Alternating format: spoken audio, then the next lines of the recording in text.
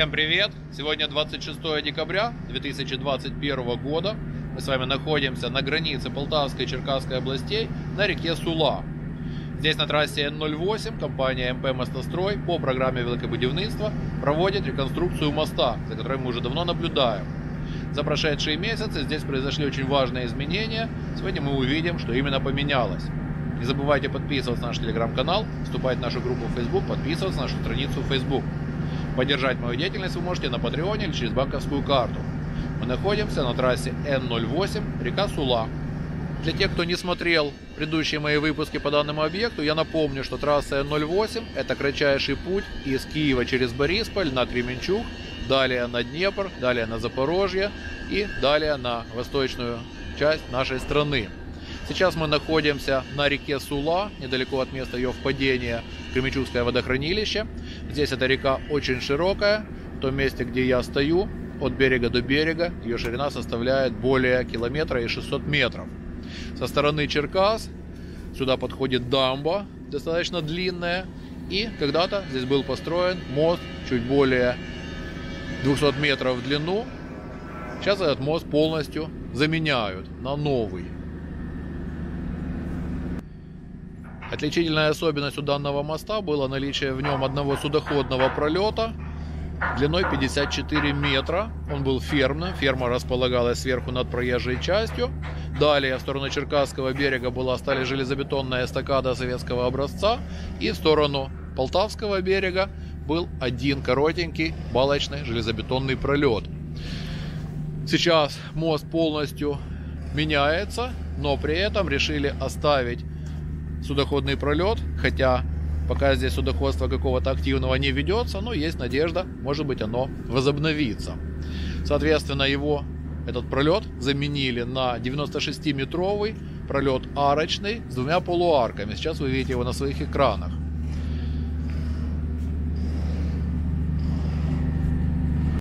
Еще одним интересным моментом данного строительства было то, что до определенного момента не хотели перекрывать движение по мосту. Дело в том, что тут очень нагруженная дорога была, много фур, много легкового транспорта, поэтому до последнего момента старались этот неприятный этап оттянуть.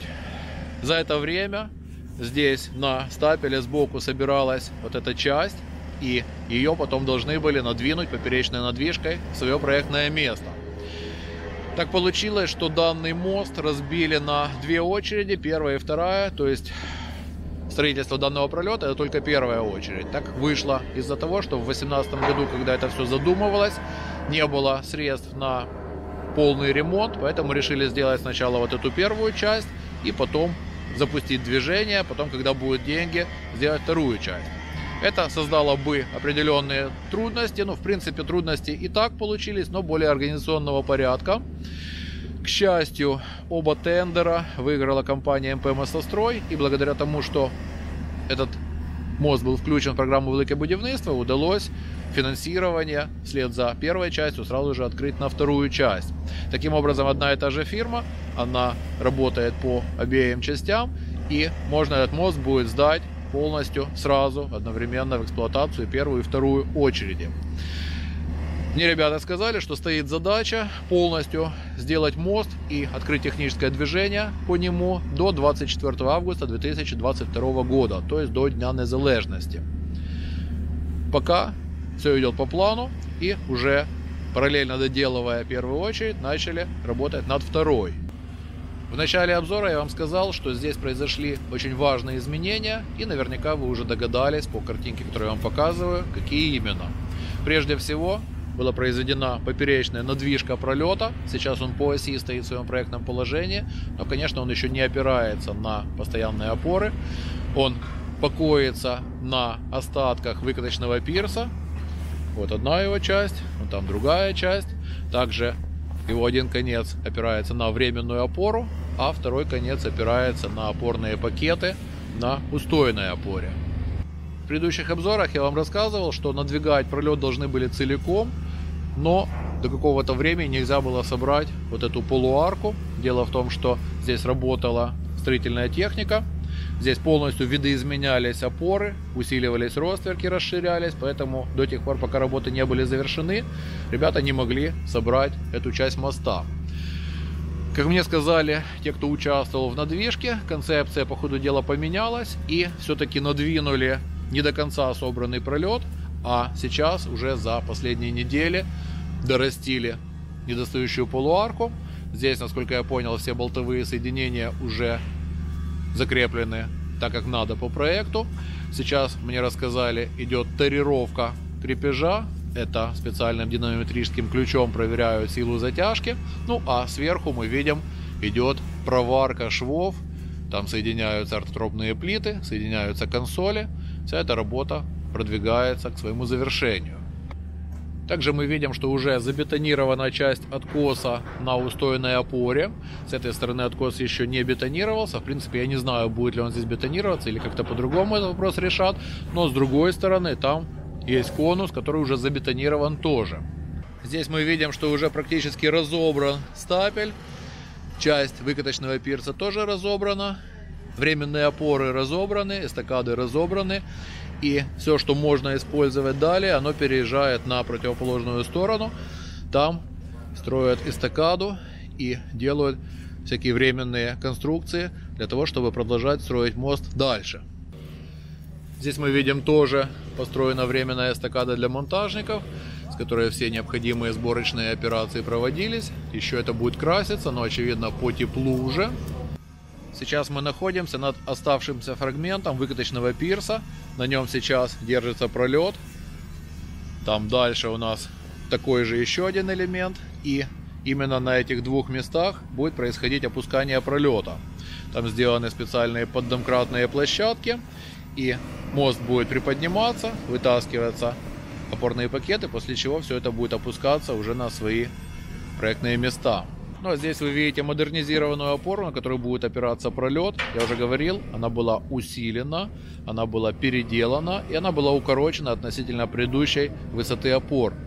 Почему так пришлось сделать? Потому что здесь опорная часть пролета находится гораздо ниже, чем в старом пролете старого моста.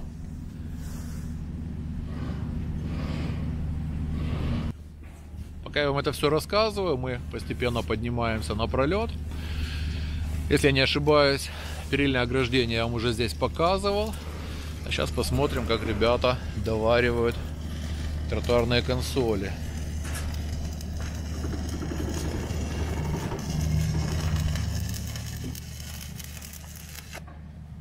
Ну, в данном случае идет заварка технологических отверстий, которые здесь присутствовали для чего-то.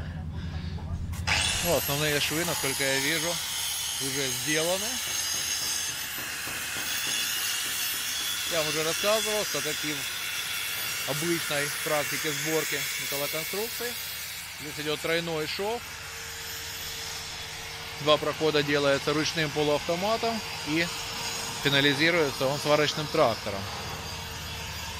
Как видим по ортотропным плитам, здесь два фрагмента доращивалось, что соответствует одной полуарке. Теперь мы любуемся на забетонированный конус. Еще раз повторюсь, пока у меня нет информации, будет ли такой же с другой стороны, либо там как-то по-другому сделают. Хотя можно предположить, что конструкция должна быть симметричная. Теперь мы подошли к месту, где будет мауреровский деформационный шов. Я вам еще раз показываю достаточно странную устойную опору. Чем она странная? Тем, что здесь нету переходных плит. Здесь опора, она сама как переходная плита. С чем это связано, я так и не узнал, ребята мостовики не знают. Но, с другой стороны, на Черкасском берегу будет обычная устойная опора с переходными плитами. Мы посмотрели в проект, опять же, вот непонятно разница, почему в одном месте так, в другом месте так. Я могу лишь предположить, что это как-то может быть связано с тем, что этот берег и эта часть моста, она выше противоположного, но опять же, что из этого может следовать, у меня, как у инженера, нету никаких мыслей. Если меня смотрят проектировщики данного моста, то можете поделиться своими соображениями, почему именно так запроектировали. Вы, наверное, помните, что летом у ребят было несколько месяцев вынужденного почти простоя из-за того, что здесь аномально поднялся уровень воды. Он затопил шпунты, которые были забиты даже выше проектного уровня, и работать по опорам, по ростверкам было невозможно. Сейчас я очень удивился, когда я увидел эту шпунтовую стенку. Она очень высокая. Я поинтересовался, зачем ребята ее сделали. Оказалось, что она здесь была, но мы ее не видели в таком виде. Сейчас вода упала более чем на 2 метра от того уровня, который мы всегда привыкли видеть. И можете посмотреть не только по шпунтовой стенке, но и сколько всего везде обнажилось по берегу. Тоже интересный момент. То есть здесь все очень переменчиво. Вода поднимается, Вода опускается, несколько метров перепады. Сегодня, кстати, минус 2 градуса, но ужасный ветер, поэтому вы, наверное, заметили, я в капюшоне сверх каски. Как мне ребята сказали, неделю здесь вообще были страшные морозы. К ветру добавлялось до минус 14 опускания температуры. Ну, а вот несколько дней уже более-менее была оттепель. Сегодня опять подморозило. По прогнозам, Скоро еще обещают мороз, а после этого опять оттепель. Так что здесь еще те условия работы. Вы видите, что вся сула практически замерзшая, но здесь расчищено во льду место, где может курсировать флажкоут, где может курсировать катер. Дело в том, что сейчас, кроме как на катере, никак не попадешь с берега на берег. Сейчас я таким образом подвожу вас еще одному важному изменению, поскольку уже начата работа по второй очереди моста, то мост разбирается и сейчас никакой связи сухопутной нету между берегами. Кстати, сейчас вы видите кран, который работает на флешкоуте, поднимает одну из труб. Это трубы, которые извлечены были из эстакады, из стапеля, из воды. И сейчас эти трубы переставляются с другой стороны строится временная эстакада технологическая. Сейчас мы подойдем к краю пролета. Я вам все расскажу и покажу. Вы видите, а наверное более слышите, что продолжается со стороны Черкасского берега демонтажная работа. В данном случае мы находимся над третьей опорой, четвертая, пятая и от шестой опоры до восьмой, если не ошибаюсь. Сейчас еще остался мост. Его разбирают, разбирают бетонную монолитную плиту, потом будут демонтировать металлическую часть пролетного строения. И, собственно, что за эстакада здесь сооружается? Вы видите, внизу кондуктор, он направляет трубы. Буквально при мне забили вот эту крайнюю трубу. Здесь будет полностью сделана такая площадка эстакадная, на которой будет работать техника. Видимо, очень осторожно надо быть, поэтому, пожалуй, отойду отсюда. Всякое бывает. Но продолжу. На эту площадку техника будет попадать по еще одной эстакаде. Эстакада будет сделана вот с этой стороны и будет продолжаться до берега. Также, наверное, вы видите, но ну, мы туда чуть позже подплывем, я надеюсь. Там сделали шпунтовую отгородку и временную технологическую отсыпку. Эта шпунтовая отгородка, она будет продолжаться и на другую сторону песчаной дамбы. И таким образом на две опоры, насколько я вижу, которые были в воде, можно будет попасть по суше. Таким образом у нас получится раз, два, три. Три промежутка, которые будут находиться в воде. Пока внизу ребята проводят подготовительное мероприятие, прежде чем погрузить трубу, я продолжу вам рассказывать о дальнейшей судьбе опор моста. Так же, как и те опоры, которые уже закончены, которые находятся подо мной сейчас, Следующие опоры будут видоизменяться. Устойная опора, как и опора напротив, будет расширяться на две сваи, которые будут забуриваться по краям ее. Ну а что касается промежуточных опор, то сбоку от каждого ростверка с одного и с другого будет забуриваться по три сваи. Ростверк будет в пульте также расширяться, усиливаться. Опоры будут срубываться до ростверка и будут монолититься новые стойки, новые ригели. Они будут на более низком уровне, потому что высота пролетного строения нового металлического будет выше, чем была у старого пролетного строения. Сейчас мы смотрим мне под ноги и видим, что третья опора уже срублена до ростверка. Там продолжаются еще какие-то работы по подчистке забит шпунт. Нельзя было надвигать это пролетное строение, пока не забили шпунт. Вы знаете, что шпунт забивается с помощью вибропогружателя и подъемного крана. Вас может интересовать вопрос, каким образом его будут удалять. Он не будет выниматься, он будет срезаться под водой на определенной глубине. Это все по проекту мы проверили. Здесь сейчас глубина 8-9 метров. Таким образом в шпунте будет насыпаться 4 метра песка от дна и 2 метра делается тампонажный бетон. Потом по верх тампонажного бетона шпунт срезается водолазами, ну а все остальное остается уже навечно похороненное в реке. Сейчас мы видим, как кондуктор подправили и начинают опускать трубу. Сначала она опускается, упирается в дно, после этого ее погружателем начинают погружать дальше.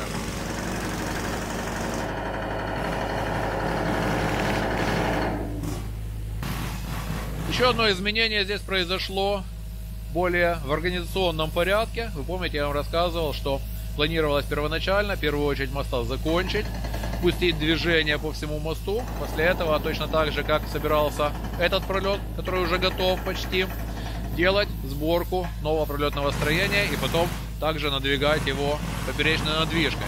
Но поскольку сразу же паровозиком начали делать вторую очередь, то решили не делать лишних движений и поменяли проект производства работ. Теперь будет непосредственно на проектных местах, на временных опорах собираться пролетное строение. Я уже рассказывал вам, что пролет, на котором мы сейчас находимся, был изготовлен компанией Укрсталь спецконструкция в городе Николаев на бывшем заводе «Океан». Я поинтересовался у ребят, где будет заказывать следующие металлоконструкции. Они сказали тоже на Укрсталь спецконструкции. И в ближайшем обозримом будущем первые металлоконструкции уже должны сюда начать прибывать. Они будут на берегу укрупняться и потом на временных опорах собираться уже над своим проектным положением. Сборка, согласно проекту производства работ, должна начаться после того, как будут сделаны уже все опоры. Сейчас я спустился в шпунт на третьей опоре. Мы можем поближе рассмотреть, как ребята готовятся погружать трубу. Сейчас я показываю вам, что происходит на плашкоуте. Мы можем посмотреть по оси моста.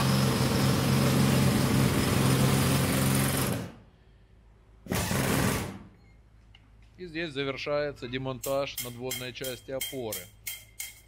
Видим, ребята долбят, долбят, долбят, долбят целый день.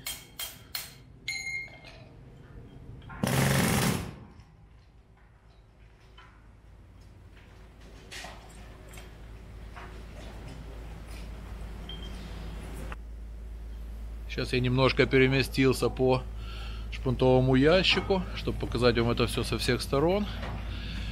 Сегодня у меня очень много времени заняла запись этого обзора. Не знаю, что-то не шла у меня речь. Поэтому начинал я его, когда было яркое солнце. Сейчас оно уже заходит. Давайте полюбуемся, что получилось.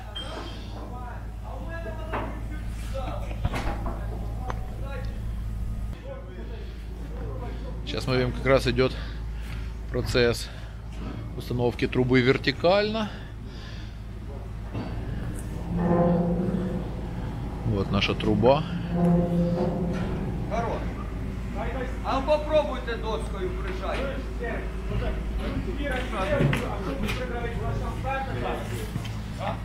После того, как ее установят, ее зафиксируют в этих направляющих на кондукторе и начнут забивать.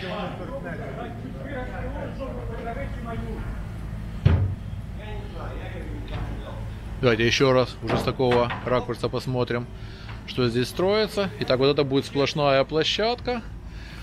Высота этой площадки будет, как мне сказали, чуть ниже вот этой вот балки кондуктора. И вот так пойдет сюда эстакада, по которой будет заезжать техника. Ну, какая техника? Это бетононасосы, это миксеры. В общем, все, что необходимо. Эстакада будет металлическая, на ней будут специальные плиты лежать, типа дорожных.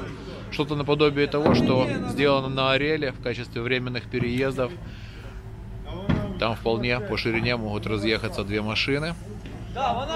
Так, ну что, здесь мы все посмотрели. Сейчас пока еще совсем не стемнело, переедем на противоположный берег, посмотрим, что там происходит. Я уже для вас полетал, поэтому Полет вы увидите в свете яркого солнца.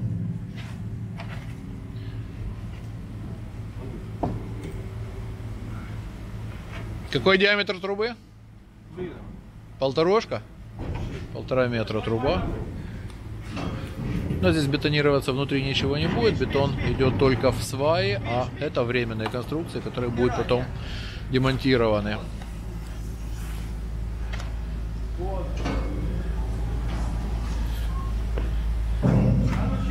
Кстати, сейчас подо мной еще нету ни песка, ни тампонажного бетона. Здесь подо мной только немного льда и далее вода. Но здесь мне сказали, по льду очень ходить опасно, потому что такая погода, что сильное течение не дает здесь особо замерзнуть. Вы видите все вокруг во льду, но по нему желательно не перемещаться. Надежнее на катере. Хотя, говорят, когда здесь минус 20 было прошлой зимой, то здесь намерзало по 30 по 40 сантиметров льда. Да, можно было по нему ходить, даже ездить на чем-то легком.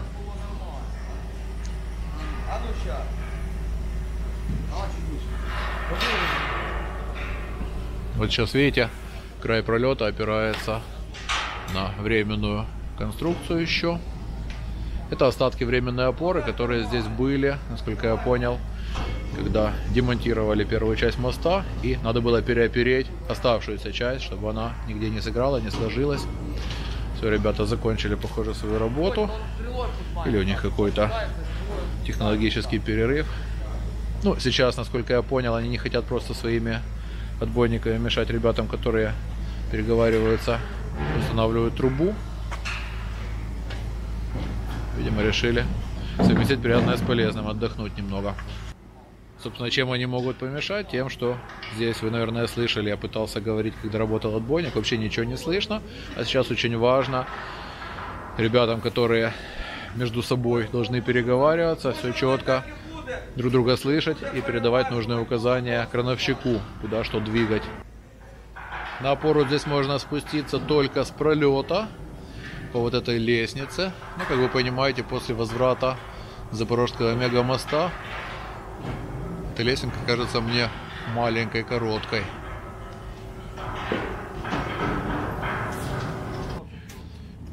І на оцю другу трубу, Андрюха, Видим, геодезия спешит помочь ребятам с уровнем устанавливать трубу. А мы идем к катеру.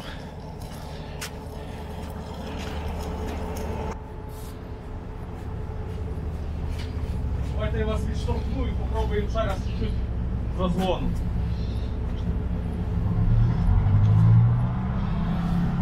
Да, видим. Нелегко пробиться сквозь лед катеру.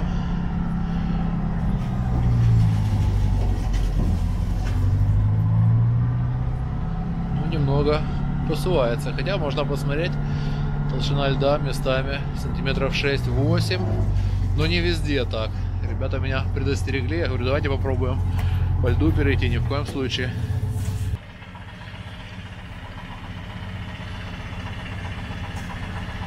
Второе путешествие на водном судне за два дня. Надеюсь, вы уже посмотрели мой обзор Запорожского мегамоста. Там мы тоже ходили на буксире, на пилоны очередной раз.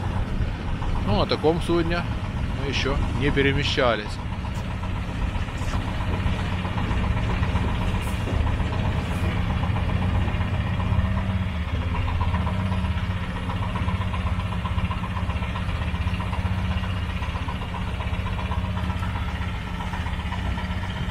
Можно сказать, в некоторой степени ледокол.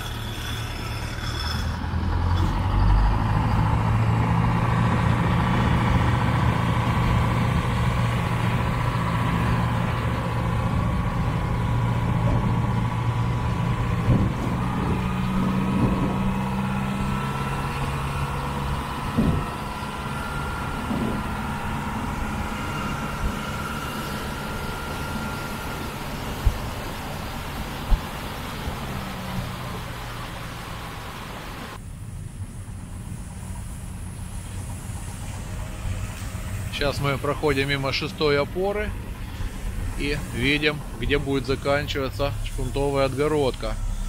В настоящий момент мы уже идем по той части, где будет отсыпка.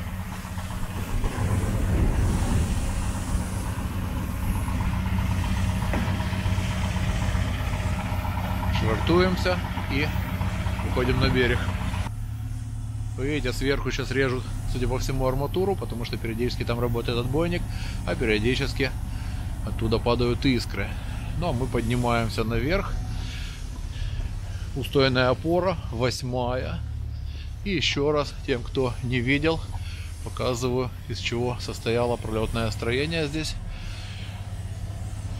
Двутавровые балки, они перевязаны какими-то косыми прямыми связями и сверху заливалась очень мощная плита.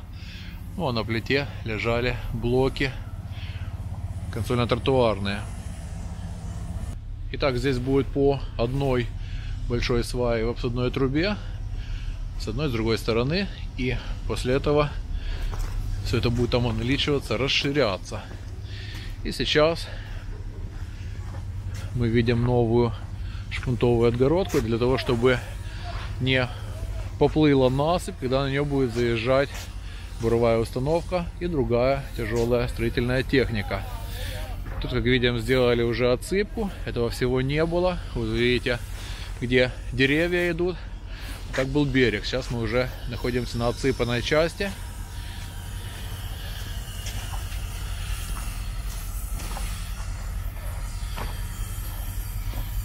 И теперь смотрим, где будет начало эстакады.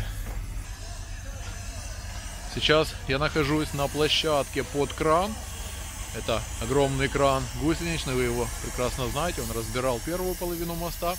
Он должен заехать сюда для того, чтобы помогать участвовать в демонтаже опор. Ну и очевидно, он же будет снимать металлические конструкции после того, как будет демонтирована вся бетонная часть. Сейчас видим собственно, что резали, арматура и огромный кусок консоли. Я вы знаете, что-то мне здесь берут сомнения, может быть там была монолитная консоль, просто она была сделана ступенькой. Я вам только что сказал, что она была в виде отдельного блока, но похоже я ошибся. Потому что вся эта огромная деталь сейчас одной массой демонтируется.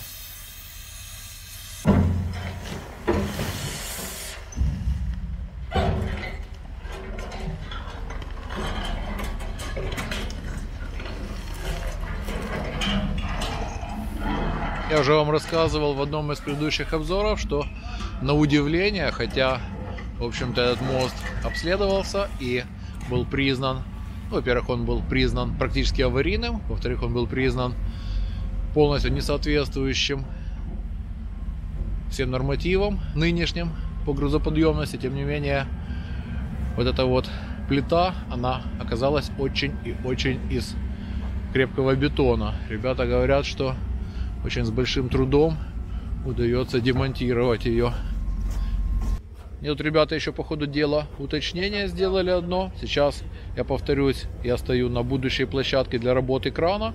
Кроме демонтажа пролетного строения старого моста, он будет заниматься забивкой шпунта как на отгородке, так и на опорах, куда он сможет доехать, дотянуться своей стрелой.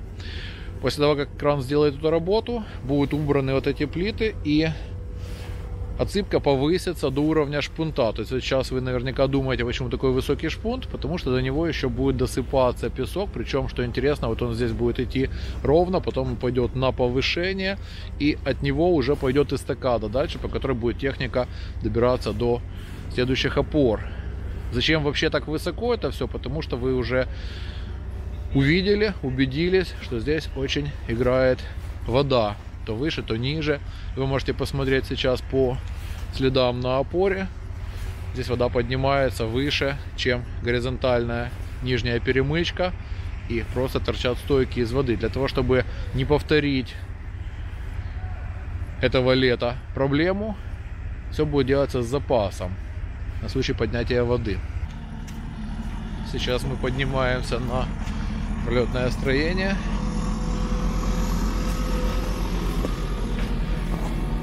Оставшееся.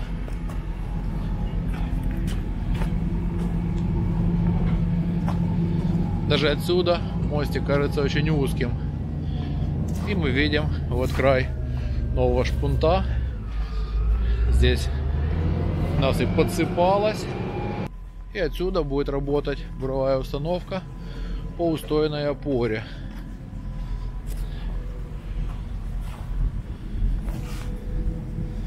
Сейчас устойная где-то под нами.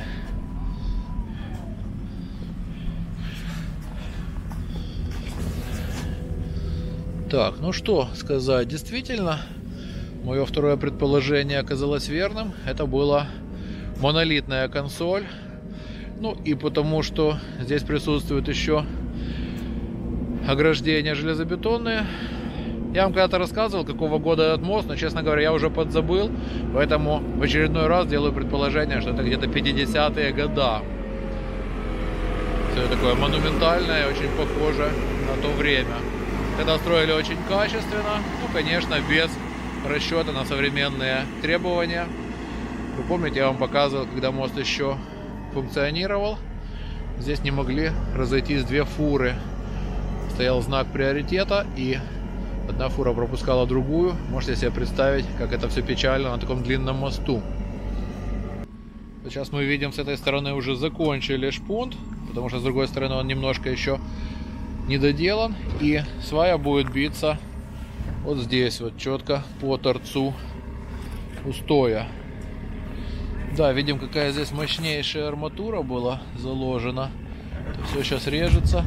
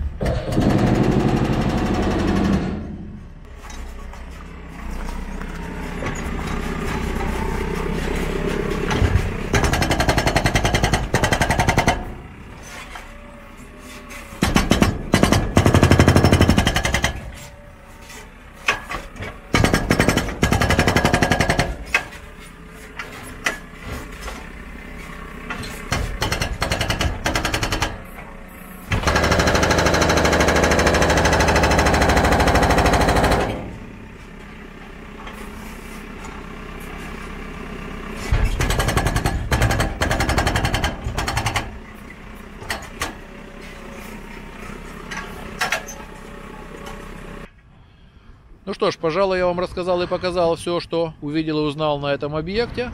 Теперь предлагаю посмотреть аэросъемку. Ну а после этого мы будем завершать наш обзор, для того, чтобы он не превратился в очередную радиопередачу.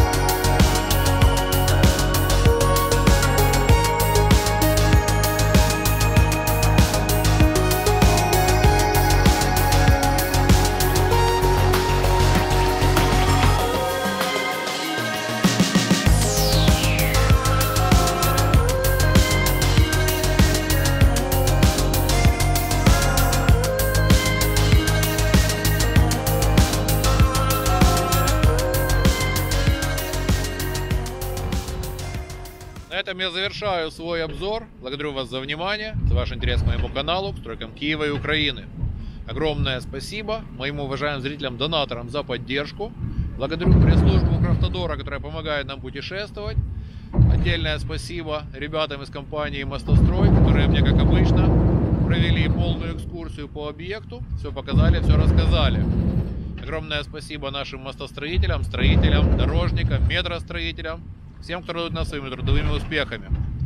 Большое спасибо всем вам, кто смотрит меня с подпиской, делится ссылками на мои видео в соцсетях, оставляет мне лайки и комментарии. Если еще не подписан на мой канал, самое время это сделать. Жмите колокольчик, ставьте лайк этому видео, подписывайтесь на телеграм-канал, вступайте в группу Facebook, подписывайтесь на страницу Facebook. Поддержать мою деятельность вы можете на Patreon или через банковскую карту. Все реквизиты даны в описании под видео. На этом я с вами прощаюсь. До новых встреч, до новых обзоров. Мира, счастья, любви, здоровья, добра. Пока.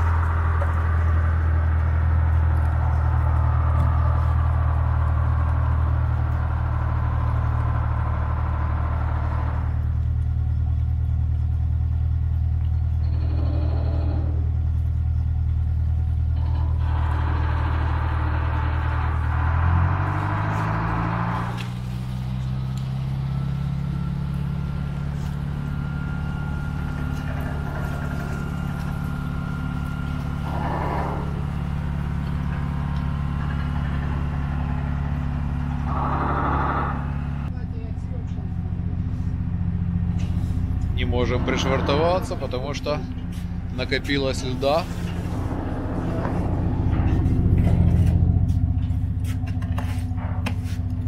Пытаемся разогнать его багром.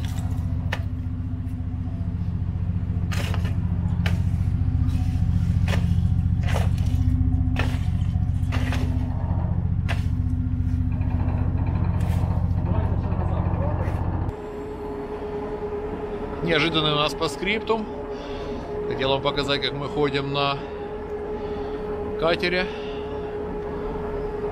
А тут попали на погрузку трубы на флажковод.